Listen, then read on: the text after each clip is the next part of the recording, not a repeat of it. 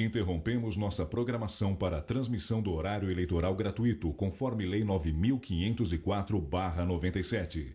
Dentro de 50 minutos, voltaremos com nossa programação normal.